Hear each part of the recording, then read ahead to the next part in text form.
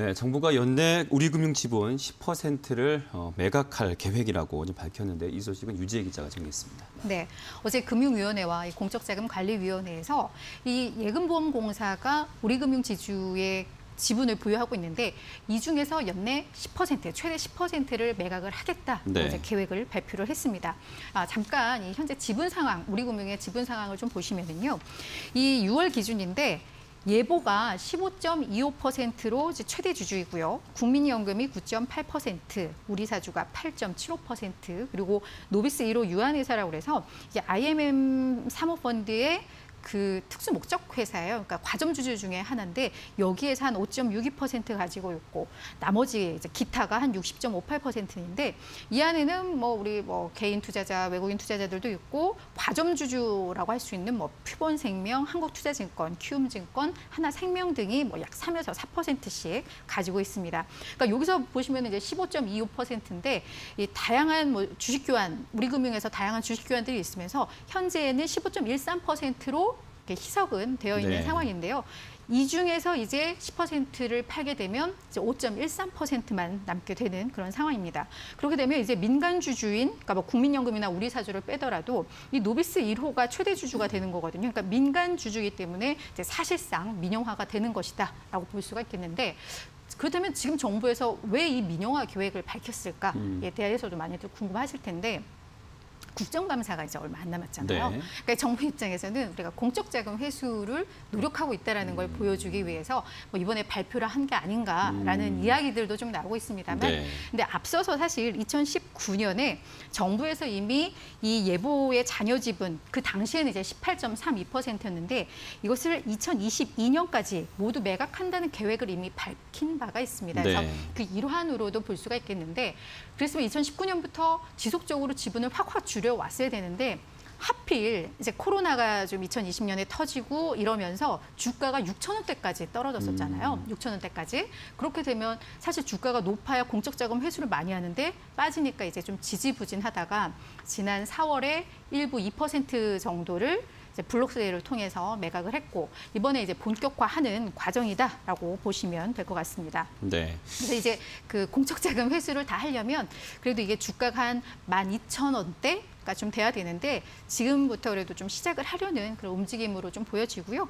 앞으로 앞으로의 이 매각 절차를 좀 보면은 다음 달 8일 투자 의향서 접수를 마감하고 이제 11월에 희망 수량 경쟁 입찰을 통해서 낙찰자를 선정을 하겠다라는 것인데 이 얘기는 더 많은 수량을 더 비싼 가격에 인수하겠다라는 매수자에게 이제 매각을 하겠다라는 의지라고 볼 수가 있겠고요.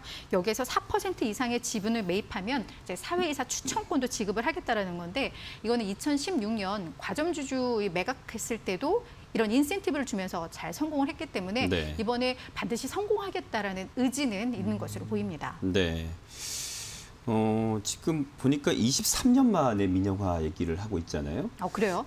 그러니까, 예. 그러니까 IMF 때부터 해가지고 지금 음, 음. 2001년까지 우리가 그걸 이제 음, 구제 금융 위기를 이제 정부가 공적 자금 되면서 금융사들 살려가는 네, 네, 이런 네. 분위기였습니다. 네, 네. 그때부터 시작된 이 스토리인데 음. 이 민영화의 의미 좀 짚어봐야 될것 음. 같은데. 그러니까 사실 우리금융에 공적 자금이 투입된 것은 2001년입니다. 음. 그러니까 어찌 보면 뭐 20년 만인데 네, 볼 수가 있겠는데 그 2001년에 우리금융에 12조 8천억 원의 공적 자금이 투입이 됐습니다. 공적 자금 투입을 하면서 이 당시에 정부가 우리금융의 지분 100% 전량을 다 음. 이제 보유를 하게 됐는데요.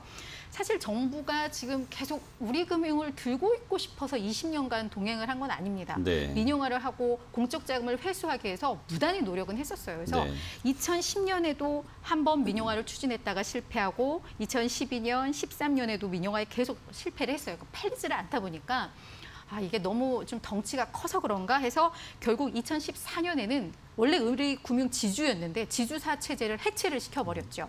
그러면서 계열사들을 뭐 증권, 지방은행들을 분리해서 매각을 했고 네. 그러면서 일부 공적 자금을 회수를 했고 이제 2016년 2016년에는 하나생명 등 이 일곱 개 과점 주주들에게 뭐 3%, 4%씩 지분을 또 쪼개서 팔기도 했었거든요. 네. 그래서 꾸준하게 이렇게 노력은 했습니다. 그러니까 결국 예보든 우리 금융이든 서로 원치 않는 동행을 했었던 셈인데 이제 정부에서도 어느 정도 공적 자금 회수할 때가 됐다라고 생각을 한 것이고 이게 또 의미라고 한다면 우리 금융 입장에서는 이제 정부 입김에서 피할 수 있다라는 거죠.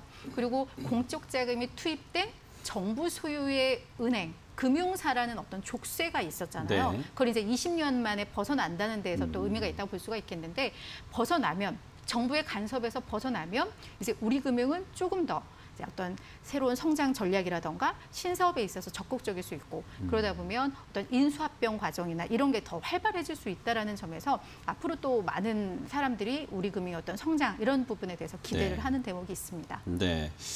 자, 일단 오늘 뭐 앞서 말씀드렸지만 우리 금융지주 주가 상황은 0.4% 지금 현재 상승하고 있어요. 어, 주가에는 어떤 영향을 미칠지 좀 단기적으로 또는 중장기적으로 수급이라든지 어떻습니까?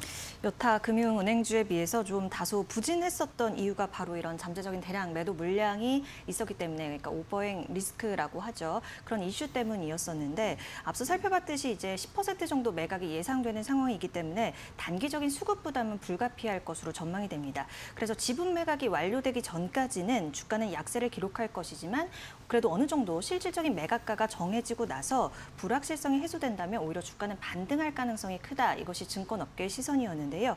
결국에는 부정적인 요소보다 긍정적인 요소에 대해서 주목을 하는 분위기였습니다. 그 첫 번째 이유는 바로 그 첫 번째 말씀드렸던 그 오버행 이슈에 대한 우려가 어느 정도 소멸이 된다라고 볼 수가 있을 것 같고 두 번째는 앞서 민영화에 따른 그런 효과를 아, 유재 기자가 언급을 해주셨는데 그 부분에 대해서 이제 적극적인 경향을 보다 기대를 할 수 있다는 것 그리고 수급 여건 개선도 기대가 됩니다.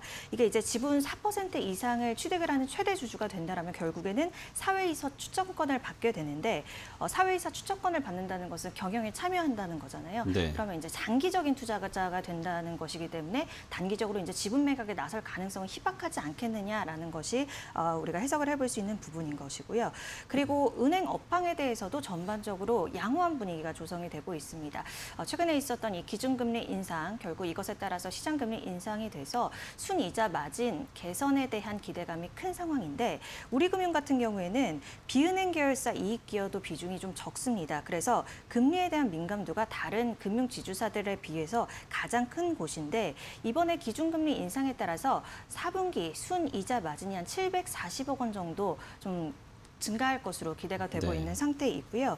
또 11월에 기준금리 추가 인상에 대한 가능성도 나타나기 때문에 이 부분에 대해서 또 추가적인 또좀 상 성장이 기대되는 부분이 있다라고 우리가 해석을 해볼 수 있을 것 같고요. 하지만 그 5%에 대한 그런 지분 매도 오버, 오버행 이슈를 가질 수 있는 그러한 물량들은 남아 있는 상태이잖아요.